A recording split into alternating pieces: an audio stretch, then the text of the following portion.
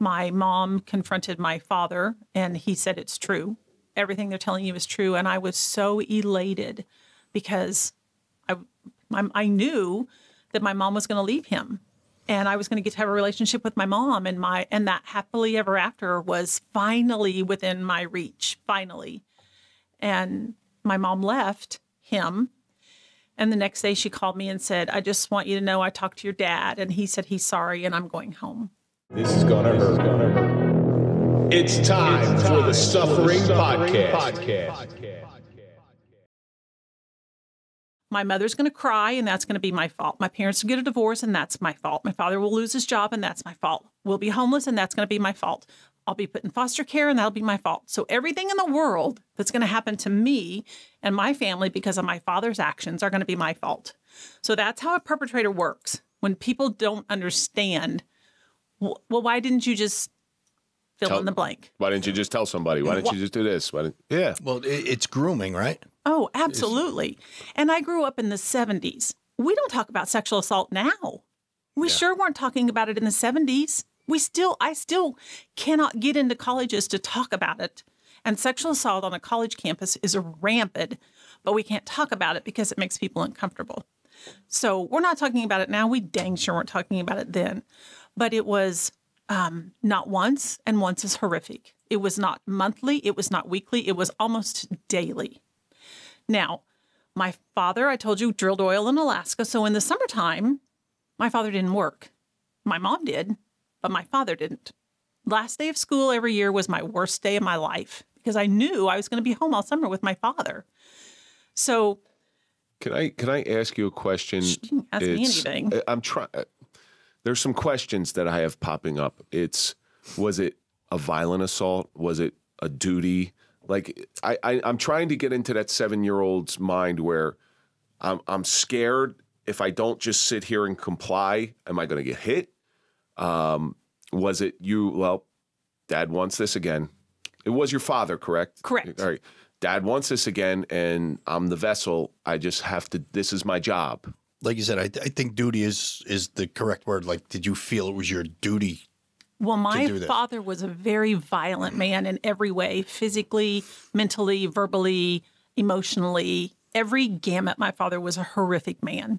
Now, I want you to know that the community, when you ask the community about my dad, my dad's a great guy, as most perpetrators are.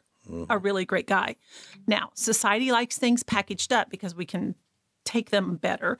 And so they like to believe that a perpetrator, you know, rolls up beside you in a white van and says, "Hey, little girl, do you want some candy?" But that's that's not the truth. We that's, know that's them. Hollywood. Yes, and and and the public can. It's palatable that way. We can take that and digest it. But 80, I think it's 85% of all victims know their perpetrator. So it's not it's not the way society likes to believe that it is. But I think the main answer to that is I had a sister 2 years younger than me. And it was my job that I gave myself to protect my sister. And I knew I had to do that. Now, the other side to that is I was terrified of my father. I had been beaten many, many times by him. He was a horrible man. So I knew what would happen. And the thought of saying no wasn't even on the table. Was wasn't. Never would never. Because you just got beat. Oh yeah. So you just had to lay there and take it. Yeah. There was no there was no interaction, there was no and he was so blatant. There were times when my mom's my mom worked. I could hear her car in the driveway. She'd be leaving for work. And my father would be in my room. And my mom's car was still in the driveway. And I always thought if my mom would just forget her cigarettes or forget her coffee or forget her whatever and come back, then she would see what was happening. She would gather my siblings and I up, and we would move far away to this magical place where there's no where people aren't harmed and and and terrific things aren't happening, and there's hap- happily ever after. Um, but that never happened. And and so you wanted to move to like Disney World? Uh, anywhere. I wanted to move anywhere. You know, when I lived in Alaska, there was this huge in Anchorage. There's this huge hotel and it's where they had the ritzy Christmas parties. And that was in my brain. That was where I would. That was where I could go. Um, so you were able to totally detach mm-hmm. yourself. Mm-hmm. Yes. Did you have any conscious thoughts while the act was happening? Mm-mm. No, total dis- detachment. Wow. as a survival mechanism. I guess you have. I guess you have to do that to make sense. But it's even at seven years old. I'm I'm fairly certain that you knew what was going on wasn't correct. To, Oh, it was horrible. And to this day, I'm a compulsive hand washer. So, and it's been, you know, I'm 62 and I'm still compulsively washing my hands to get them clean. So I don't do it nearly as much as I used to, but that's Is that like subconsciously washing the dirt off you? still trying to get Yeah. that off of me. Um, there were times he would make me put a certain lotion on my hands, and so I'm still, you know, if I'm if I'm still for a second, I can still feel that and smell that smell and look in my brain. I can I don't know that they even sell it anymore. I can still see the label and stuff. well, it's amazing that the the the olfactory senses Yeah. how how much they they trigger.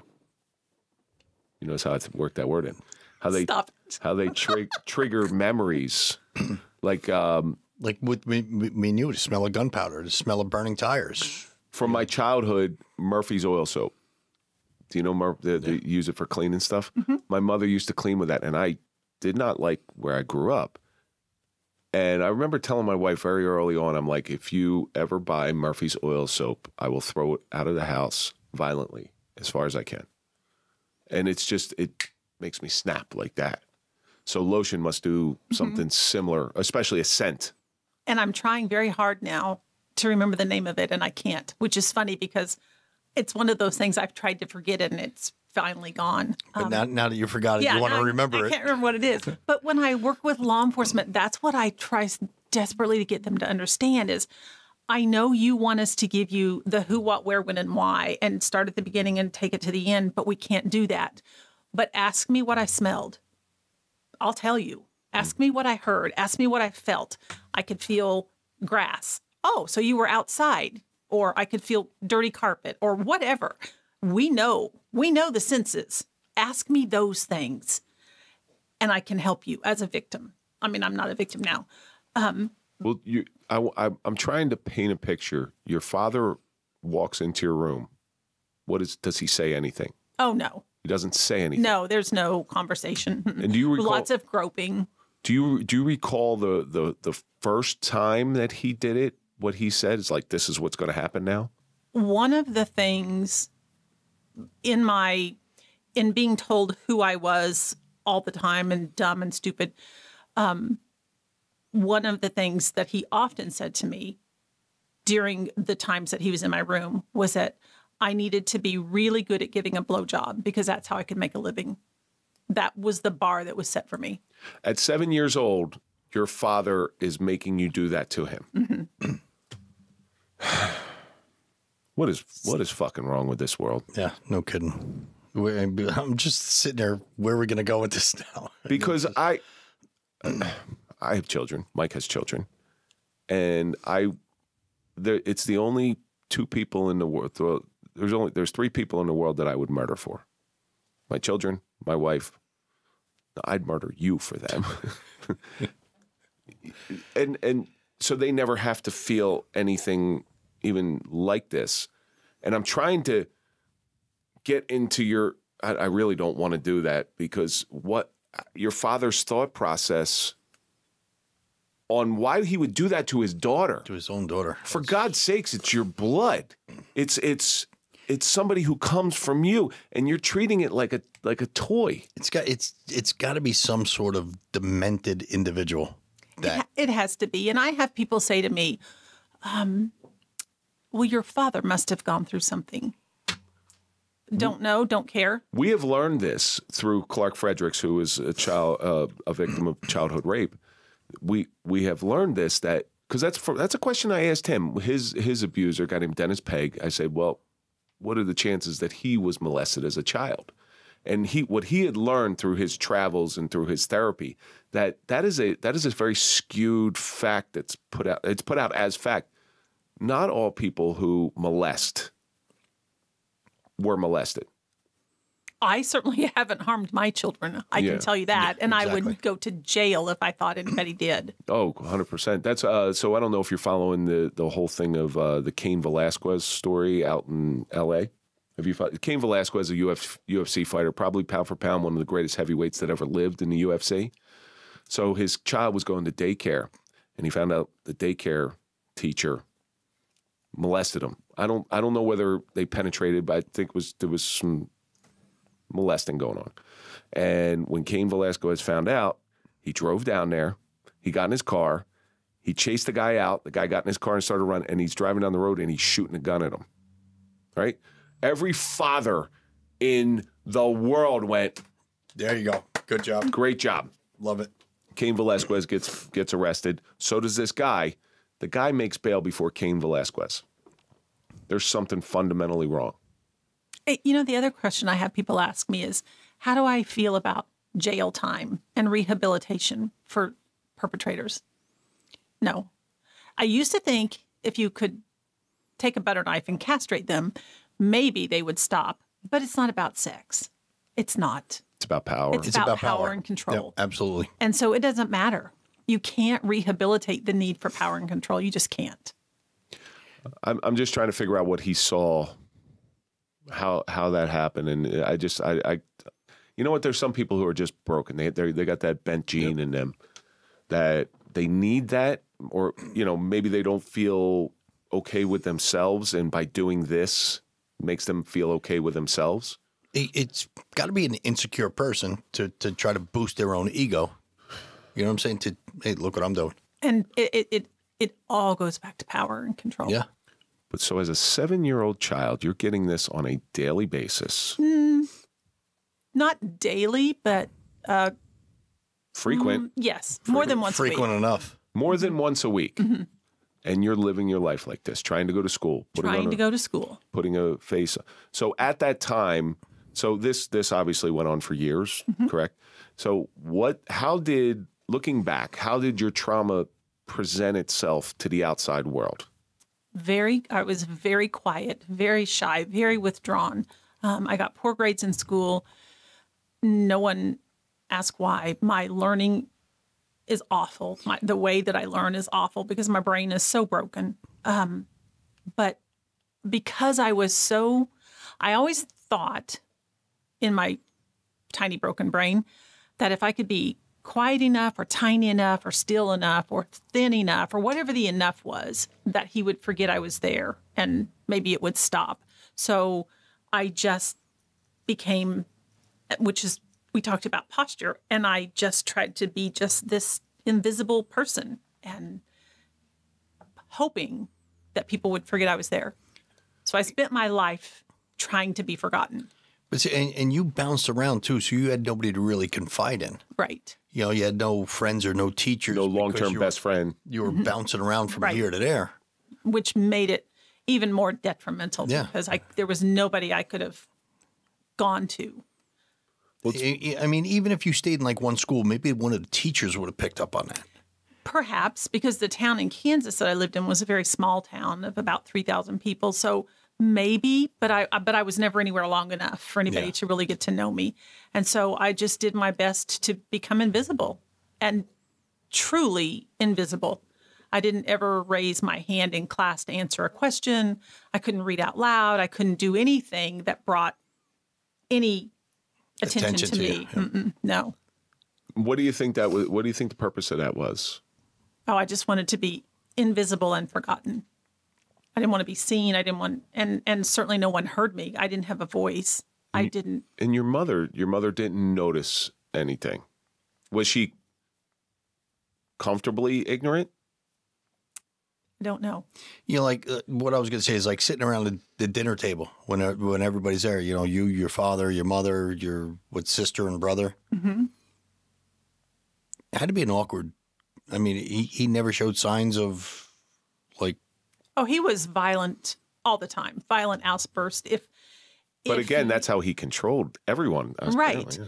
And if you at our dinner table, if somebody spilled a glass of water, it, you know, he would jump up from the table and flip the table upside down, and glasses and dishes and food would scatter. And um, he thank was he's just not here because Andrew spilt that water before over here. and I didn't see Andrew spill that, but I still, I'm just now, just in the last couple of years, if I'm anywhere and and I spill my glass of water, I, I'm just like everybody take cover because all hell's about to break loose, and I'm working on really, really hard on getting grounded, getting my feet on the ground, touching somebody to it's okay. You know, I'm not 12, I'm not 10, the world's not about to end. It's just a glass of water. It's all good. So you had two younger siblings. Mm-hmm. Okay. Both girls, Brother and a sister. brother and a sister. Was was did your was your father's view of your brother a little different than the girls?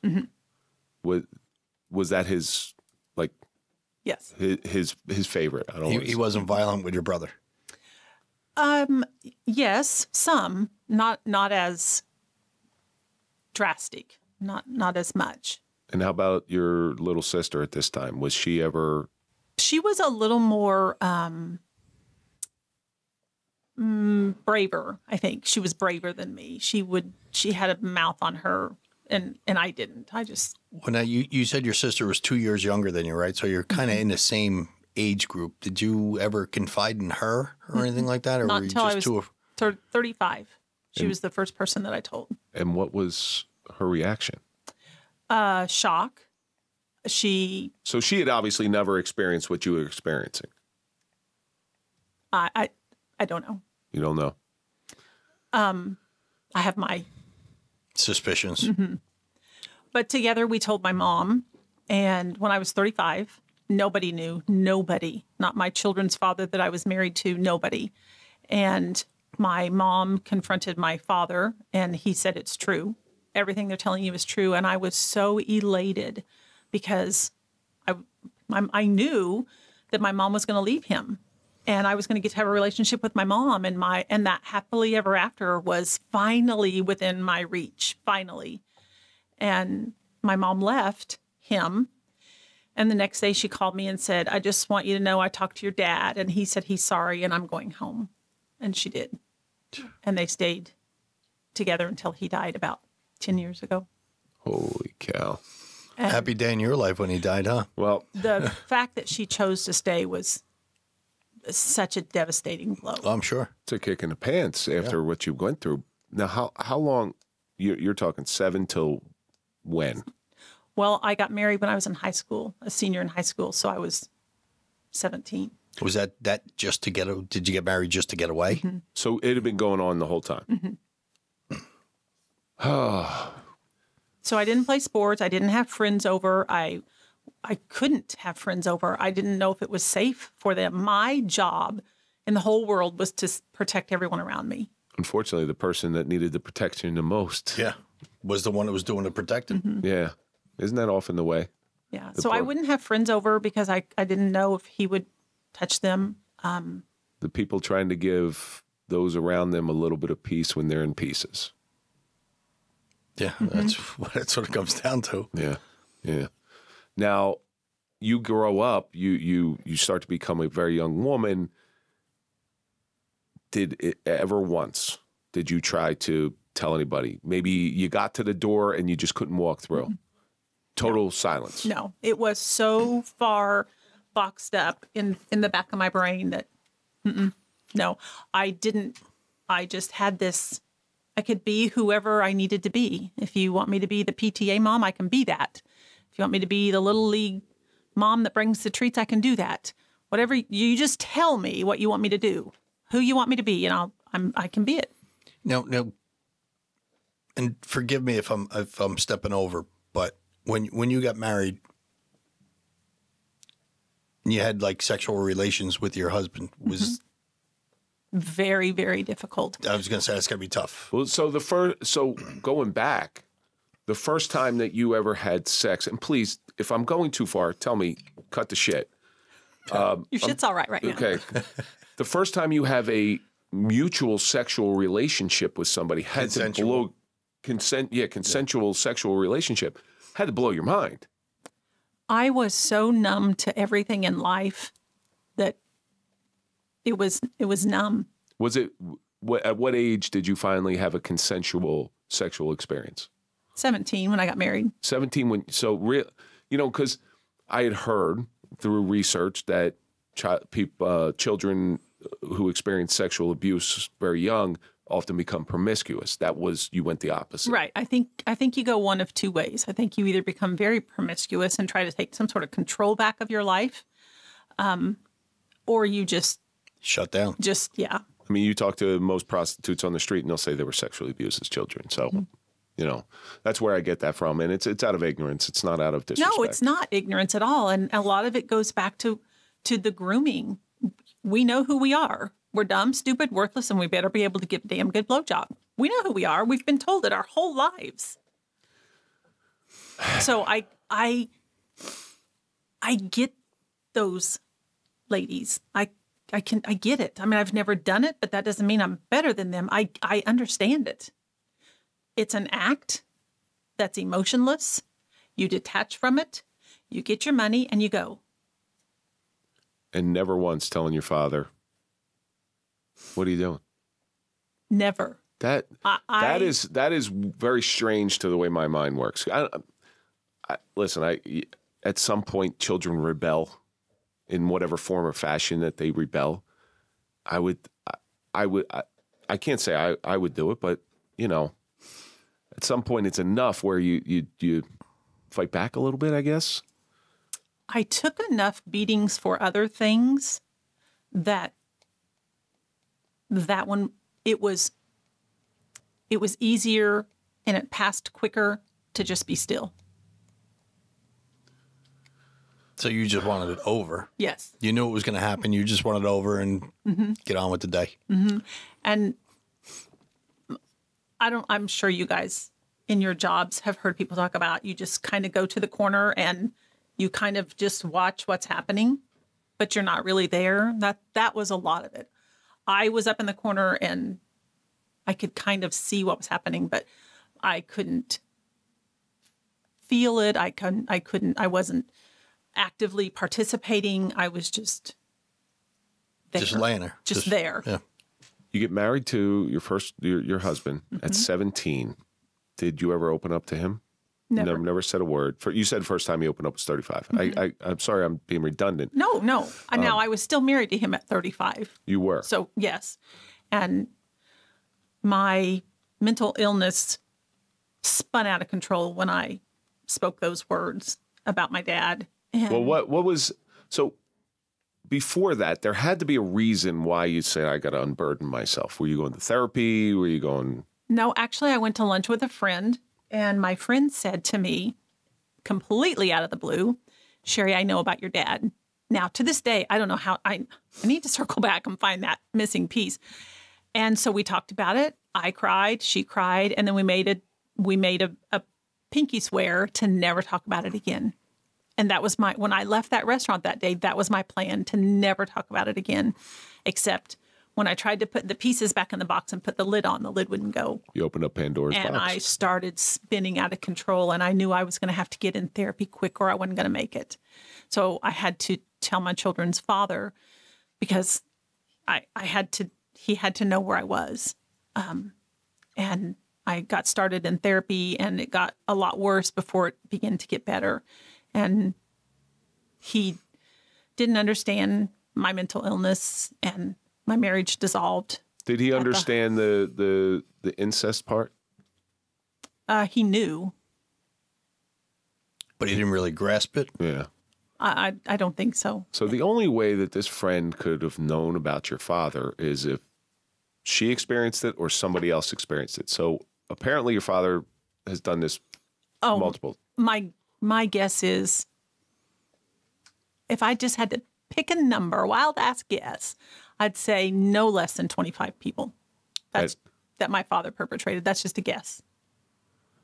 Yeah, uh, you know what? It's it's like a it, they're- they they go out of this playbook. They find this playbook, and it seems like every time I hear something like this, it is the same movie that plays. Yeah, no kidding. And nobody knows